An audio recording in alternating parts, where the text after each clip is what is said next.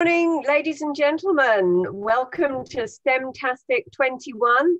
We are delighted to welcome you and we are delighted to welcome Dr. Gernot Scherer from S'Cool Lab, the Physics Education Research Facility at CERN, home of the infamous Large Hadron Collider and the European Organization for Nuclear Research in Geneva, Switzerland. Gernot is going to... Oh, hold on, Vic. Hold on. Sorry. Have you started it, Gernot? We are still in practice session. Yeah. Oh, just, I'm sorry. Just um, you just need to click send to. You just need to click finish. Okay, I will click then. Thank you. Good to go now, Vic. Sorry. Good morning, ladies and gentlemen. Welcome to STEMtastic 21. We are delighted to see you here today, and we are delighted to welcome Dr. Gernot Scherer from S'Cool Lab, the Physics Education Research Facility at CERN, home of the Large Hadron Collider and the European Organization for Nuclear Research in Geneva, Switzerland. Today, Gernot is going to be telling us all about superconductors and discovering the fantastic phenomenon of superconductivity. I just want to remind you to pop your questions in the chat because you'll all be on mute. Over to you, Gernot. Hello, um, thanks for the nice introduction. Um, um, welcome to S'Cool Lab. So today we will uh, have this uh, science show about superconductors, um, superconductors takeoff. Um, again, welcome. We are broadcasting directly from S'Cool Lab at CERN. S'Cool Lab is the educational lab um, of CERN. yeah, as said, my name is Gernot Scherer. I'm doctor in physics and I'm working in the education and outreach section of CERN. And the experiments uh, I'm about to show you are the ones that students can do by themselves at normal times here in S'Cool Lab. Okay, um, this show will be interactive, which means you can write your questions in the chat at any time. I will try to have a look uh, on the chat from time to time and uh, try to answer your questions right along. However, for more complicated questions, uh, we will wait to the end of the show. Moreover, I will ask you quiz questions from time to time about which you can answer on your PC. Um, let's test this right away. The first quiz question.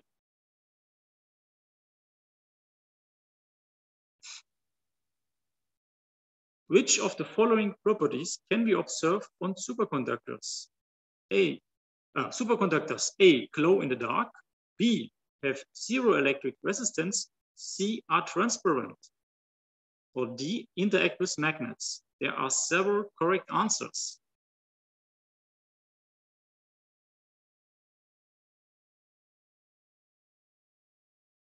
Okay.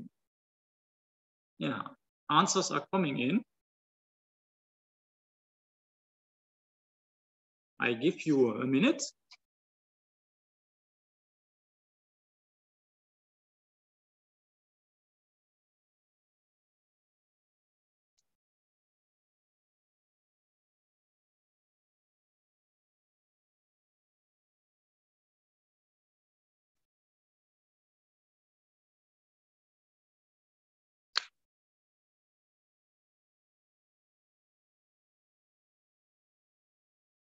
Okay, um, a bit more time.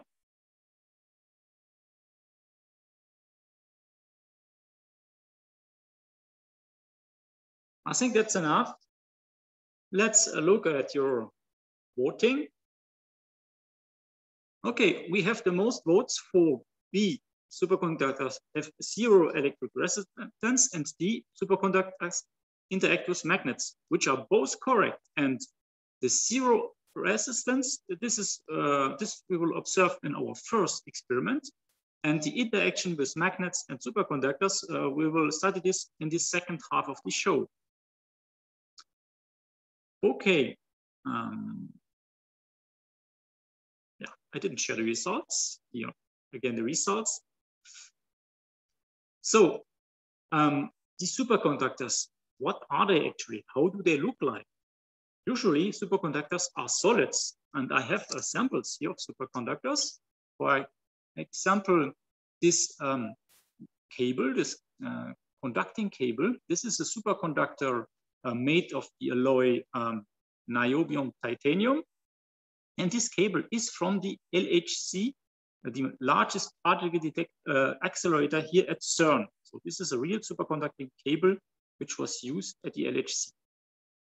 Um, superconductors can also be more in a crystalline form, like this black disc here. This is a monocrystal, a single crystal made of the of a um, synthetic compound of a copper oxygen um, compound.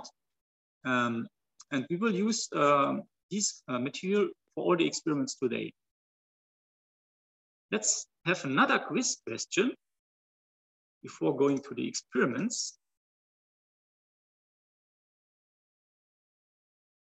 Who discovered superconductivity and when? A. Heike Kamerlingh-Onnes from the Netherlands in the year 1911. B. Albert Einstein in the year 1950. C. The US American Leonid Cooper in the year 1957. Or D. Andre Geim in Manchester in the year 2004. Again, I will give you about a minute to answer.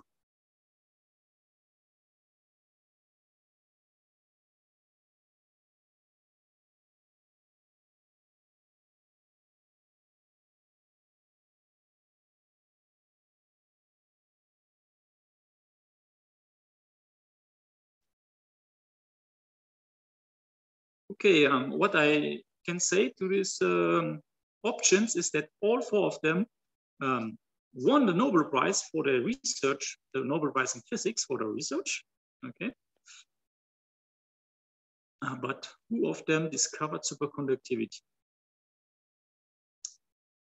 Yeah, a minute is over, so let's uh, look at the results.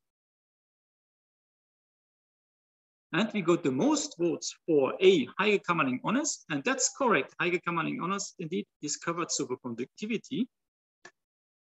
And uh, I will share uh, the slide with you. Okay, here on the slide, you see on the left a photo of Heike Kamerlingh-Onnes in his um, laboratory. Um, he uh, studied, um, or he worked on the liquefaction liquefaction of gases, and he managed to liquefy helium uh, as early as in the year 1908. Here's a photo of liquid helium.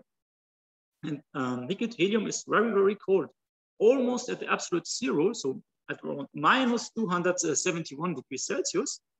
And, uh, and Onnes studied uh, the resistance of metals at such low temperatures. And um, during these studies, studies, he discovered superconductivity in mercury. So here you see the resistance curve of mercury is function of the temperature. And mercury becomes superconducting at about 4 Kelvin, so at about minus 269 Kelvin, uh, degrees Celsius, which is really, really cold. Um, okay, uh, what we can so say also about superconductivity is that a total of 13 Nobel Prizes have been given in relation with superconductivity, which is quite a lot for a single physical phenomenon. Okay, I would say uh, enough talking. Let's go over to the experiments. As I said, superconductivity was uh, discovered at very low temperatures. So we also need low temperatures here in the lab to do the experiments. And for this, I will take liquid nitrogen which is a, a, nitrogen, you know, is a gas in the air, but um, becomes liquid at about minus 200 degrees Celsius, well, actually at minus 196 um, degrees yeah, precisely. And as you see, it is really a liquid, but it's very, very cold. So I should not touch it. And that's also why I have the safety goggles. And we use, use this liquid nitrogen to cool down our samples. We will start first with the experiments on electric uh, on the electric properties of superconductors. Therefore, I will use this small bar from a superconductor. So this is also this copper oxide compound, which has been pressed in this special form, which is very uh, adapted to, for measurements of the resistance. And you see the silver pattern here, there are for the electric contacts. And we have put such a sample in such an aluminum box and we have connected it electrically. So you, there's a cable going out and this cable now goes here to a current source because we need a current, uh, a constant electric current to measure the resistance of our sample. What do we need, uh, need else to measure the electric resistance?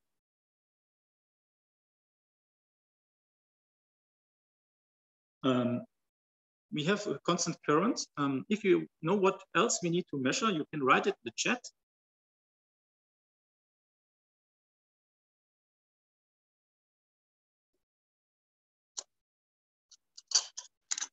Okay. No idea? Okay, we need to measure the voltage, the electric voltage, and then we can calculate with the current and the voltage, we can calculate the resistance.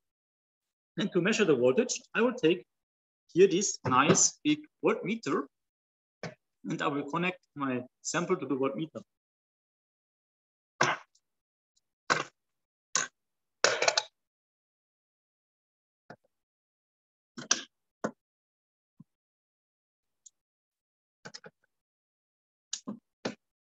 Of course, I have to switch on the current. And then we see that our voltmeter indicates about 0.2 volt.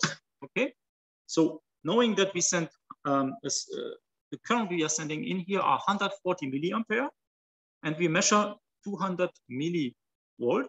So the resistance of our sample is about 1.5, 1.6 ohm, which seems not so much, but considering this uh, small uh, dimension of the superconducting sample, actually the resistance is quite a lot. Okay, so the superconductor is not such a conductor at room temperature. It's rather a bad conductor, but we have to cool it down, of course. So I will put my probe, the sample inside this aluminum box here in this foam box, and then I will simply pour liquid nitrogen over it and cool it down. So as you see, there is a lot of smoke coming out of the, the box or from the liquid nitrogen. What do you think is this smoke coming out here? You can write it in the chat if you want. Is there something burning?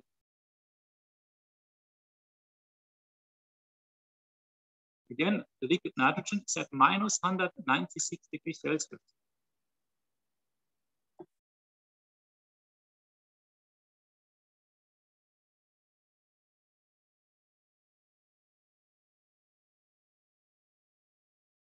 Okay, um, I will tell you this uh, smoke, it's not smoke, it's vapor. Actually, the liquid nitrogen um, um, goes into the gaseous form as a phase transition, and then it's very cold, and all the humidity of the air condensates directly and um, forms this water vapor.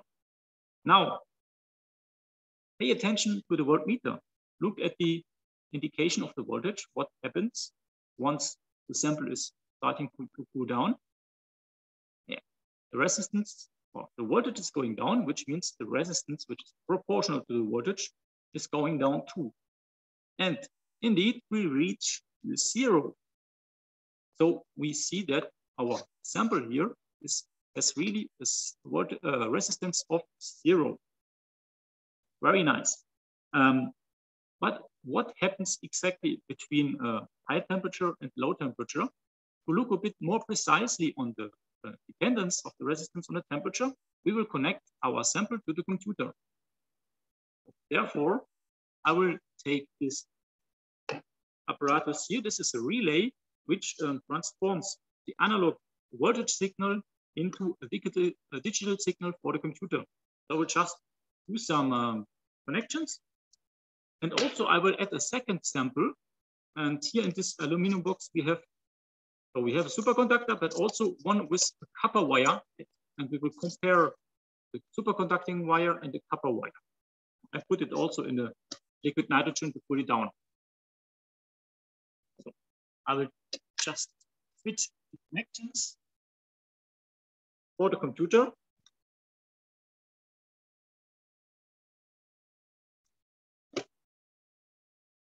What we have also in these uh, boxes are thermometers measure the temperature. Um, and this, the thermometers are just wires of platinum. And platinum is very uh, well adapted to measure very low temperatures.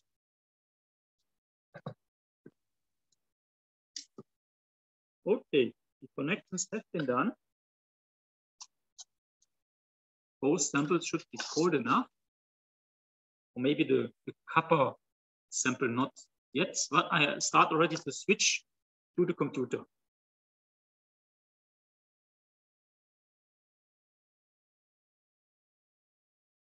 Okay, now everyone can see the measurement on the computer. We have the upper uh, measurement is the temperature. So we are at minus 195 or almost uh, degrees Celsius, which is almost um, the, the boiling temperature of liquid nitrogen. So there's a small error, but that's not important. On the lower left, we see the voltage of the superconductor, and on the lower right, the voltage of the copper wire. We see that the voltage of the superconductor is very low. It's below one millivolt. Okay, I said that um, the, the superconductor has zero resistance.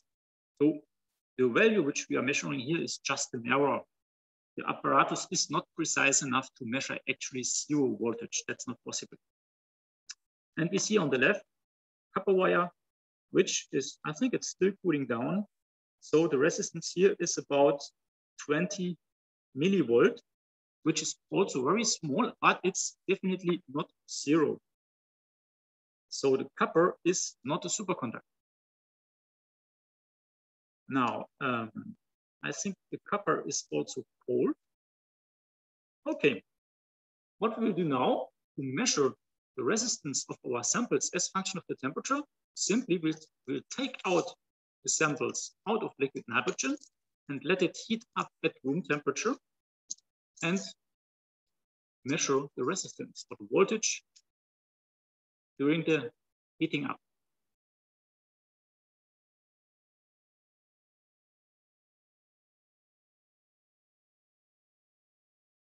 Okay. Let's start the measurements. we see here on this figure, on the x-axis, we have the temperature going from minus 200 degrees Celsius to zero degrees Celsius. And on the y-axis, we have the voltage of the superconductor and of the copper sample. We see the superconducting voltage is it's around zero, and the voltage of the copper sample is around uh, 20 millivolt. Now they start to heat up, and we will see what happens. Um, okay, that will take maybe a minute.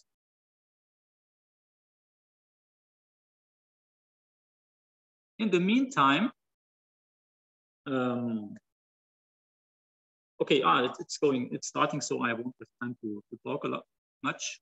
I will check um, the Q&A. You have put some questions. Yeah. Okay, I answered already most of them. As you see for the copper, it's increasing slowly with the increasing temperature. This is a normal behavior of any conductor, which is not zero. Um, this is the so-called ohmic behavior of a resistance. And now look at the blue curve of the superconductor. What's happening here? Suddenly it's increasing very rapid Yes, you have a jump in the resistance.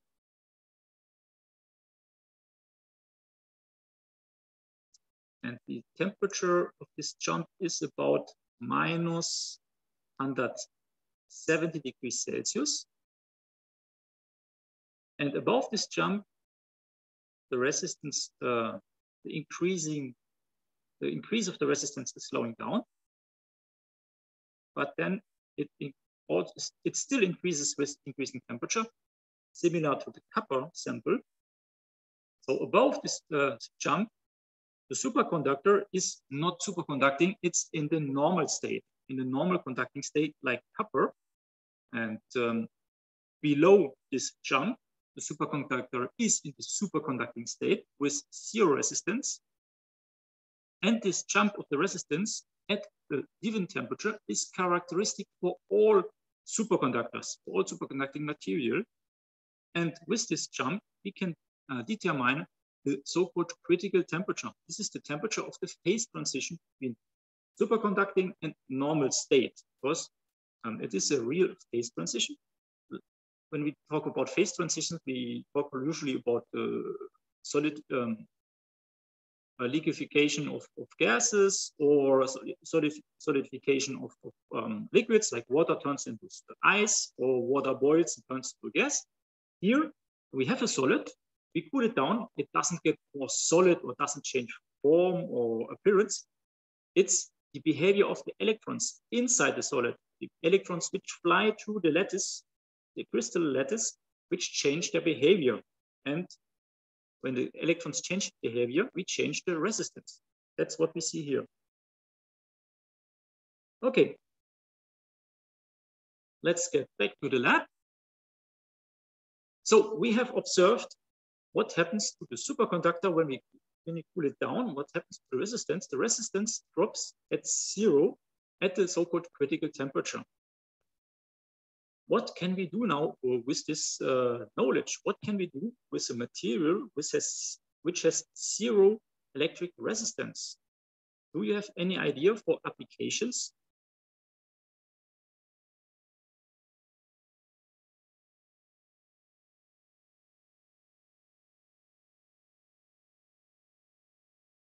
You can write it in the chat.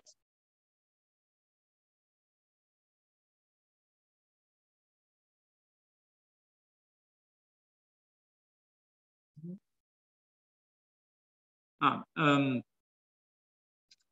um, what's for what applications can we use material with zero electric resistance? Do we have an idea where to use superconductors?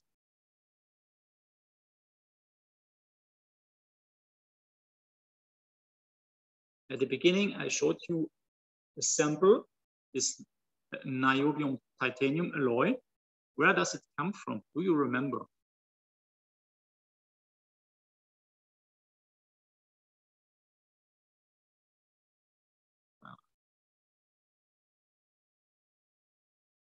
Yeah, MRI, very good point. MRI, um, magnetoresonance imaging is used in, uh, in in hospitals to look into the in our body, into our brain, and uh, MRIs need very strong magnetic fields. And to have very strong magnetic fields, we need electromagnets with a lot of electric current. And when you send a lot of electric current in a normal cable, in a copper cable, it will heat up.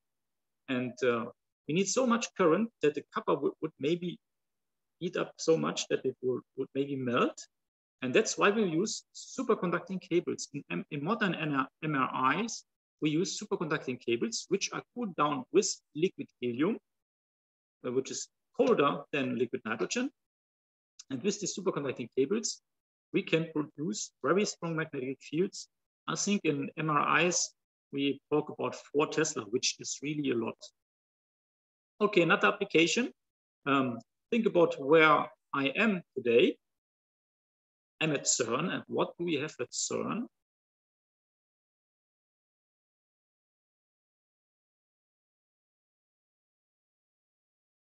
Yeah, okay, then um, I will tell you. At CERN, we have the LHC, particle accelerator LHC. And um, to explain you a bit, I will share my screen again. I will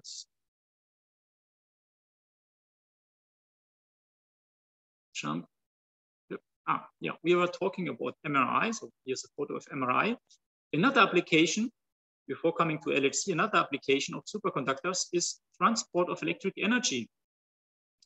Like here, um, a prototype example is uh, Long Island, uh, close to New York. New York is completely powered with superconducting cable, which is about 600 meter long and cooled down with liquid nitrogen. And this uh, superconducting cable can conduct thousand times more current than a comparable copper cable, um, as you know it. Okay, let's go to CERN to the LHC. So the LHC is a particle accelerator, which has a circumference of 27 kilometers. So particles are accelerated to, uh, and um, hold on a trajectory, a circular trajectory. And these particles, these protons, which are electrically charged particles, are accelerated to almost the speed of light. So they are very, very fast. And due to the inertia, of these particles, they tend to go on straight lines. They tend to move straight and not on this circular trajectory. So we need a force to keep them on this circular track.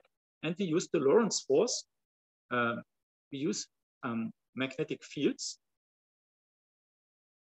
And uh, yeah, here we are on the tunnel of the LHC uh, with the particle uh, tube.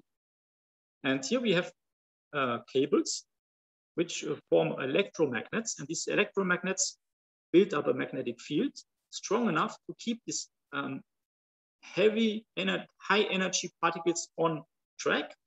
And we use, uh, we use superconductors to build up um, these strong magnetic fields. We have here a photo of a crosscut of the superconducting device. And um, these superconductors can produce um, a magnetic field of 8 Tesla, which is about 100 times stronger than uh, your kitchen or uh, fridge magnets you have at home.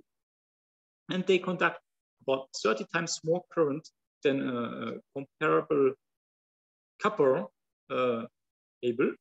And uh, if you would, if you would use copper to build to build up a, such a high field, the copper would just melt due to the strong magnet, uh, strong electric current. Okay. Now, um, it's time to go to the second half of the experiments, um, but in the meantime, um, I will put another quiz question. And I will use the time to build a bit, uh, change a bit the setup. Okay, which of the following materials is not superconducting? Oxygen, diamond, gold, or DNA? Uh, there was a question in, uh, in the Q&A. Yes, the LHC is the largest particle accelerator in the world.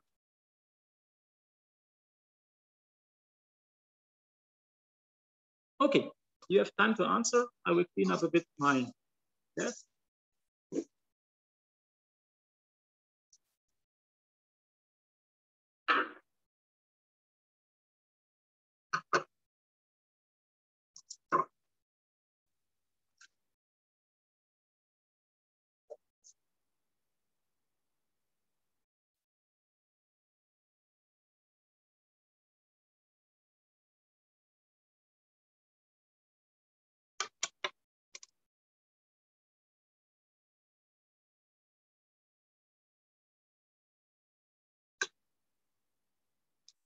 Okay, um, maybe some more seconds.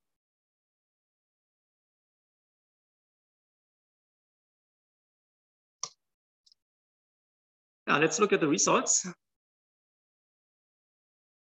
Okay, most of you voted for DNA. DNA. You say that DNA is not a superconductor. Unfortunately, that's wrong. DNA can become a, become a superconductor at temperatures as low as one Kelvin. So still colder than liquid uh, helium. Uh, the right answer would have been gold. Gold is a very good conductor at room temperature, but even if you put on gold to lowest temperatures, it never becomes superconductor. Gold always stays a normal conductor with a finite resistance.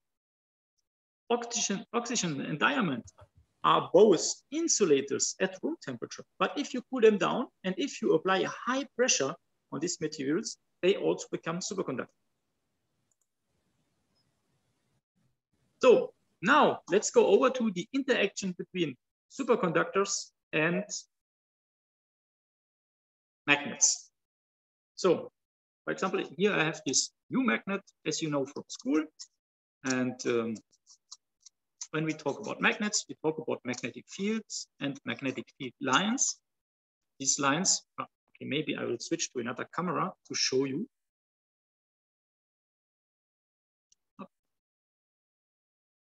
So these magnetic lines, we can make them visible, visible with these iron chips, okay? You see that these iron chips align along lines in the air. And actually these magnetic field lines is just uh, uh, an idea of our brain to help us understand the interaction between magnets.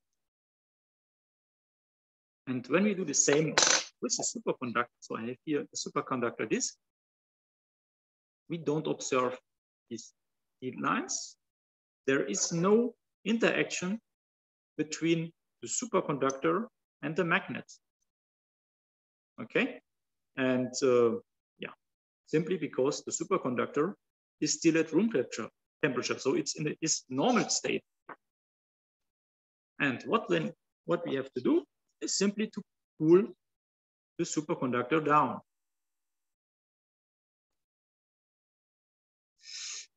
Okay, there is a question a bit tricky. Is there any potential danger with the LHC? Maybe I will answer this at the end of the show. Okay, before cooling down, I will put a magnet on the superconductor. So we have here this small magnet. This is a permanent magnet um, made of uh, neod uh, uh, alloy. And now let's cool it down with liquid nitrogen.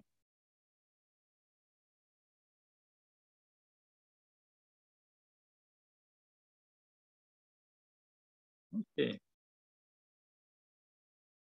And what will happen the magnets?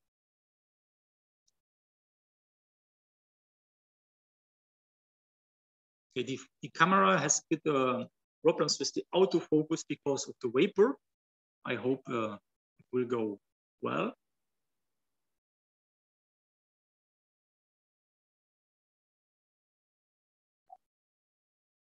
maybe a bit more liquid nitrogen.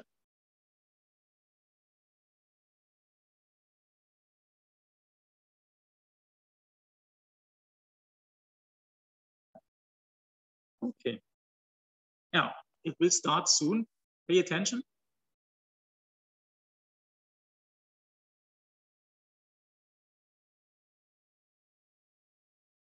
Yeah. Have you seen this? What happened to the magnet? Now the magnet seems to float in the air. Okay.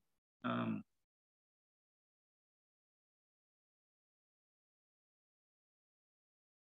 as you see, I can pass the tweezers below. Okay. And above, so there is no wire holding this magnet. This magnet is really standing, floating, levitating in the air. And it can turn quite freely. Oh, so what we observe here is an interaction, a repulsive interaction. The magnet and the superconductor repulse each other. We can do this also with magnets with other forms. Let's take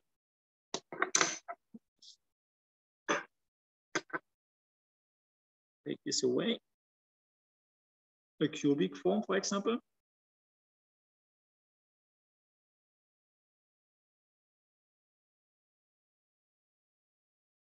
Okay, or several of the small magnets.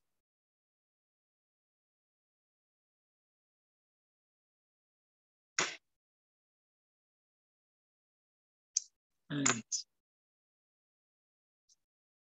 again, the smaller one. So we see this interaction is purely repulsive. But, okay, and what happens if we take out the superconductor here, put it on the side.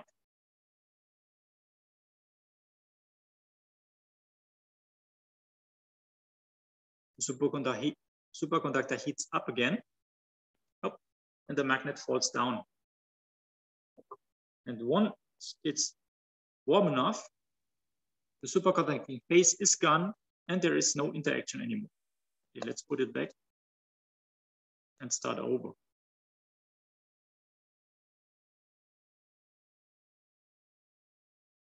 I will try to. Okay. So, what did we observe here? This effect, this levitation of the magnet in a over a superconductor is called the Meissner effect. Um, and uh, this Meissner effect, how can we explain it? So this interaction between the superconductor and the magnet, once the superconductor is cold enough, okay, I would share another slide with you for the explanation. Okay. So when we start at room temperature, the superconductor and the magnet don't interact. You see the magnetic field lines of the magnet can go through the superconductor freely. But once we are cold, once the superconductor is cold enough, all magnetic field lines are exposed outside of the superconducting volume. And that's because the magnetic field of the magnet induces a current in the superconductor, a so-called supercurrent, because there is no electric resistance. And this current is quite permanent and quite strong, creating itself a magnetic field opposite to the magnetic field of the magnet. And you know, opposite magnetic fields repulse each other. This is the reason for the levitation of the magnet above the superconductor. Now, we do this experiment again, or almost the same experiment, but we take a slightly different sample. Now, what I forget to tell you is that this superconducting sample is a polycrystal, which means it's a, a powder which has been pressed into this form. When we take a single crystal like this one, it's still the same material, but the, the, the, the, form of the crystalline form is different. This is a single crystal, which means all the volume of this disk is one almost perfect crystallic, uh, crystalline lattice. Now we use this single crystal for the same experiment. Okay, let's go back to the small camera.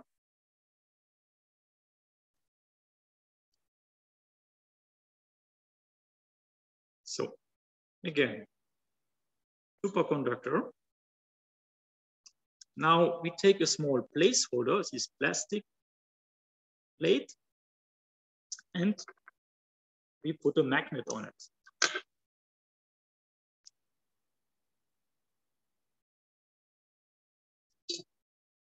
And again, cool everything down.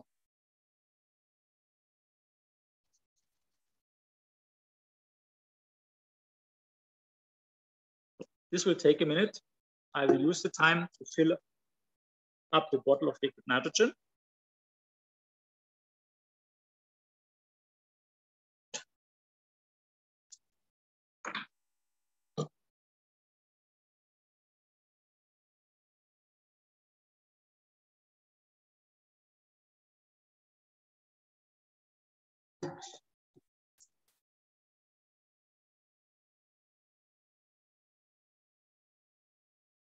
Okay, a bit more liquid nitrogen here.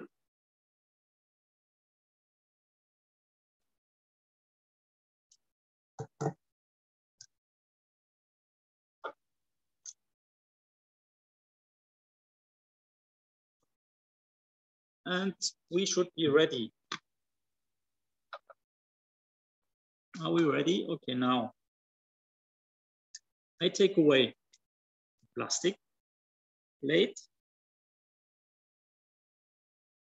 and we will see what happens to the magnet. Okay, oh, the autofocus of the camera is not so good here. Let's, I will try to make it better.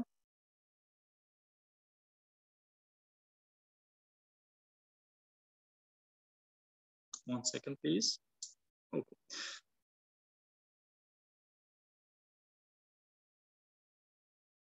Okay, what we see is that again, the magnet is levitating above the superconductor. So we have again this interaction, this repulsive interaction. But is this interaction really the same as before? I will put this small uh, bar here. It's a magnetic bar on the magnet. That's only to, to hold it and to show you better the effect. You see that the magnet is freely rotating above the superconductor. So there is no physical contact. It's really staying in the air. But now, when I pull on this bar, when I pull on the magnet, what happens? The superconductor comes with it. And I will show you here. As you see, there is a distance between both. So there's some air between. So we really have this floating effect. But um, contrary to the first experiment, in the first experiment, I was able to pull away this magnet without moving the superconductor. So there was only repulsive interaction. Now, when I pull on the magnet, the superconductor comes with it. So we have at the same time repulsive and uh, an attractive interaction. You have some kind of pinning they are pinned together in a certain position. That's why in the, in the beginning I put this plastic plate to define a distance, a pinning distance. Okay, we can also use something bigger, like this nice aluminum disc, and make it turn here. And you see that it turns freely without any friction. So this is a nice application of super, the superconducting state of this pinning. oh, of course, if I let the superconductor out of the liquid nitrogen long enough, it heats up and the effect gets lost. Okay. Uh, the question was, was what was what in was what was in the middle? In the middle, I put just some plastic to have an, a distance, a defined distance.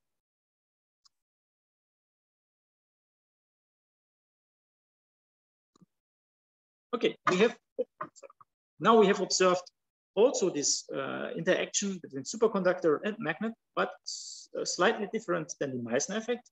This time we have this flux pinning effect, and I will explain it again with a slide. So Meissner effect was this. Now the flux pinning effect. In the flux pinning effect, it's slightly different.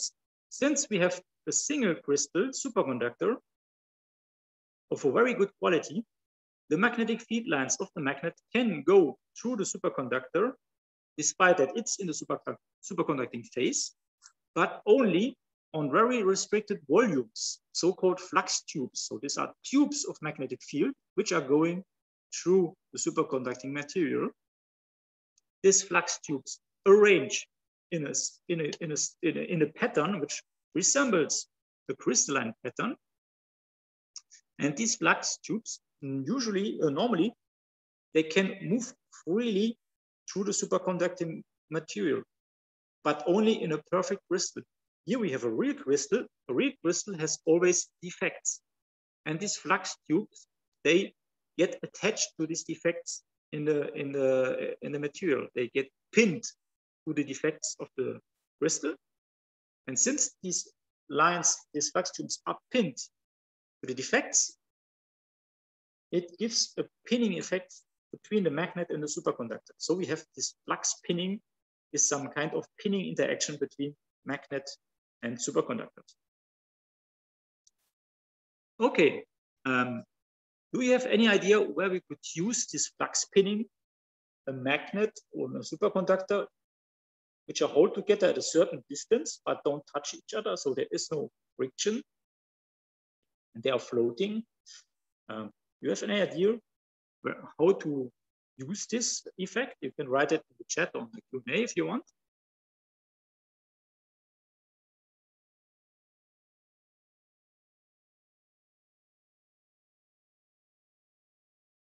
Ah, there's a question. Is this how the magnetic trains work? Okay, that's a very good question because I will make work a magnetic train today. That's the last experiment. And we will use the flux pinning effect for this. But the real magnetic trains which uh, transport people on the rails, they don't use the flux pinning effect. There are magnetic trains which use superconductors, um, like the maglev in Japan. There's also a prototype in, in China. And the maglev in, in Japan uses superconducting cables to build very strong electromagnets and uses just the magnetic interaction between the electromagnets of the train and the electromagnets outside the train. And thanks to this interaction, the magnet, this train is also levitating, has no friction, and the, the maglev in Japan can go as fast as 600 kilometers per hour, which is a world record, and it can transport people. Okay, so we have almost finished with these experiments. The last experiment, as announced, is this, the levitating train. Um, I will need some time to uh, change the, the setup. So I will uh, post the last quiz question. This will be a tricky one. Which are the lowest and the highest ever measured critical temperatures? You know this temperature where the superconductor changed from the normal to the superconducting phase. Okay, I let you a bit time to answer this and I will change the setup here.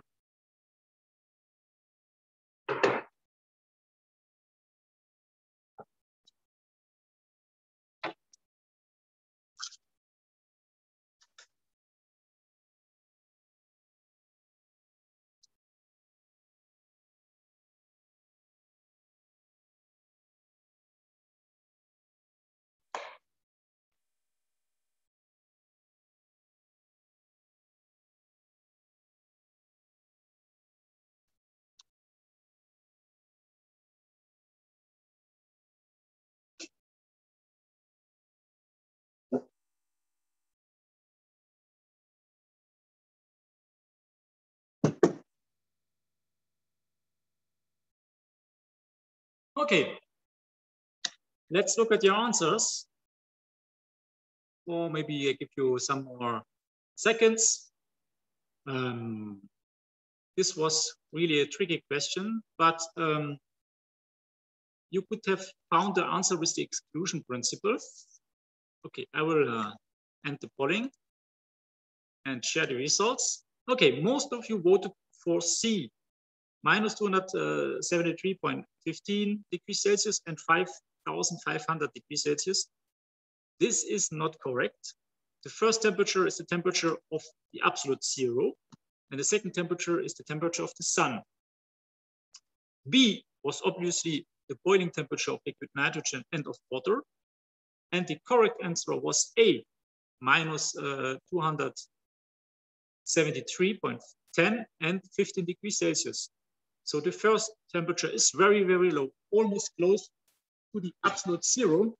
And there are very complex scientific equipments which can go at this very low temperatures, which is still much lower than the boiling temperature of helium.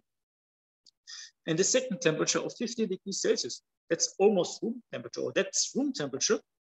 And it would be fantastic to have superconductors with zero resistance at room temperature, the applications would be enormous. Uh, the, the potential application would be enormous. The problem is to reach this high temperature. There is one material which can reach this high temperature. This is um, uh, hydrogen, sul sul sulfur hydrogen. So sulfur and hydrogen together. Problem is that you have to put this material under a very, very high pressure. You need to apply a pressure which is uh, three-fourths of the pressure of the Earth's core to reach this high critical temperature. And of course, at these high pressures, you don't can use it for any applications in real life. So this is a, a critical temperature which was reached in fundamental research, but this discovery, which was made in, in last October, still gives a lot of hope to the scientists who have very uh, one day, maybe not uh, so far in time, a material which can be superconducting at such high temperatures without pressure and without too complex, uh, too complicated constraints. Okay, let's go over to the last experiment. And maybe you can start to write all your you can write to start uh, start to write all your questions in in the chat on, on the Q&A. We are almost at the end of the show. So here we have our magnetic track. Okay, these are permanent magnets.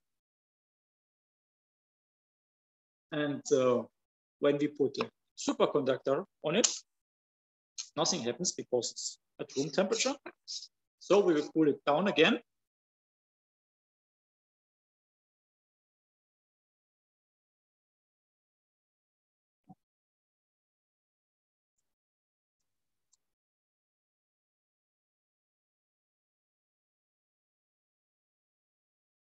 Okay.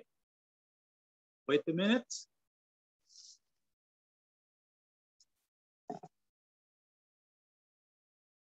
And then switch to the other camera.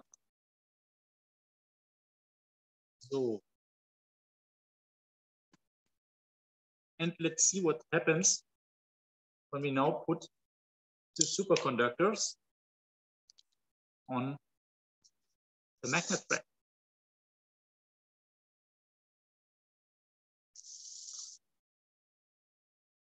Yeah, we have the levitation effect and they can move without friction. Of course, like this, they heat up very fast. Let's take directly the biggest one. And we can send it on a journey on the magnet brake. Okay. The problem here is that they heat up too fast. So we need some insulation. And for this, we will take our little train Yeah, so there is such a superconducting disk inside and the train uh, functions as uh, insulation. I will put it on the magnet track with some distance holder and then just put it down.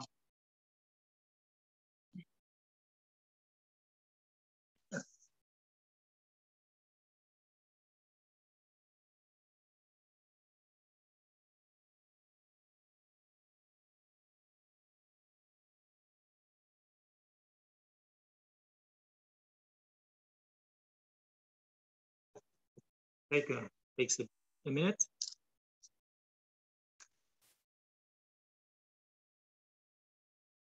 Yeah. So please put all your questions, the Q&A on in the chat.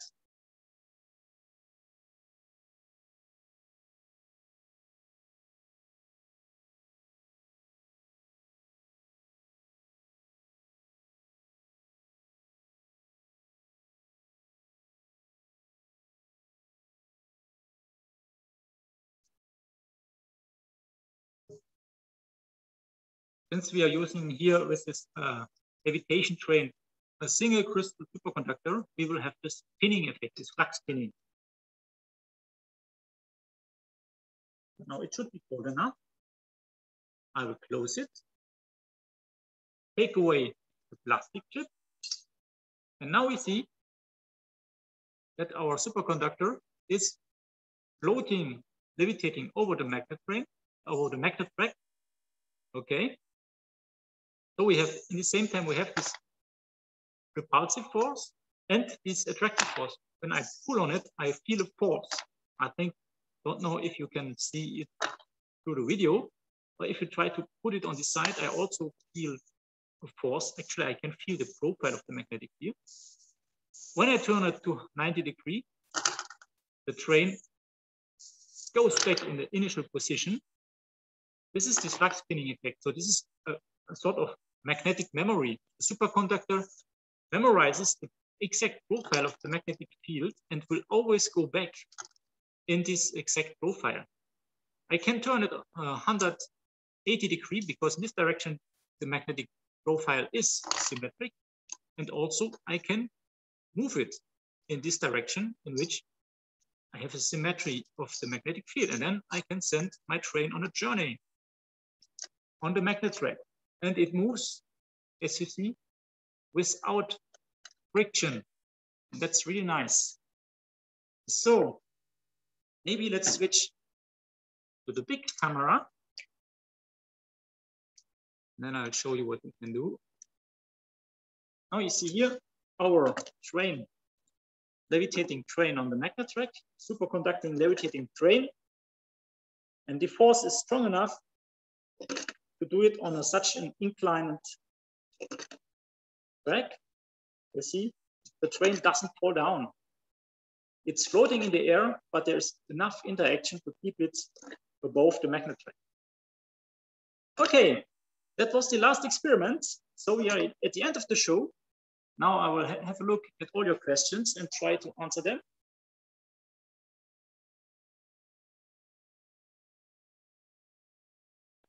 So, yeah, thanks. Yeah, really, it's really cool, literally, because the liquid nitrogen is really, really cool. Um, yeah, but I do this experiment almost weekly, and every time I'm, wow, that's fantastic. I am, it's uh, unbelievable. I, have worked with uh, liquid nitrogen and superconductors for several years. And every time I do the experiment, I'm astonished. Okay, there was one question which needs a bit a, uh, a bit a longer answer. Is there any potential danger with the LHC? That's a very complicated, maybe a bit political question. First of all, there is no danger for the public. The LHC has zero danger for the public for people living close to it or for people working on the CERN campus, there is no danger. There's, the, the, the security levels of CERN are very, very high. There are a lot of security measurements. There are permanent controls of um, all potential dangers.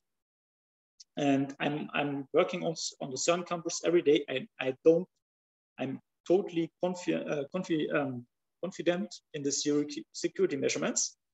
Um, if you go inside the CERN tunnel, which I showed a photo before, the CERN tunnel where you have the superconductors and the liquid helium and the particles flying around, there, of course, there are risks for, for your health because first of all, first we have very low temperatures. We have liquid helium, which is very cold, so very dangerous. But there are, uh, there are en enough, really enough security measurements. You have, of course, very high current. So there's a, a, danger of uh, electricity. And you have, um, since you have accelerated particles on a circular, uh, electrically charged particles on a circular track, you produce um, what is called synchrotron radiation. So this is um, are X-rays, which are produced also um, when you go to the hospital and you, you, and you do a, a, scan, you also use X-rays. Um, but the control of these X-rays is so good that there is no danger for people. Um, of course, if this the LHC is is running at its fullest potential and you are like a meter far away from the tunnel, that's very bad for your health. But when we run, when the CERN is running the LHC, nobody is in the tunnel. Everything is controlled remotely. Okay, I hope I answered your question with that. Any other questions? Uh, I think most of your questions, I have answered them along uh, the show. There are no more questions coming. In this case, I say thank you. Thank you for your attention. Thanks for joining this, this show. I hope uh, you had fun as much as I did. And uh, in this case, I will say goodbye.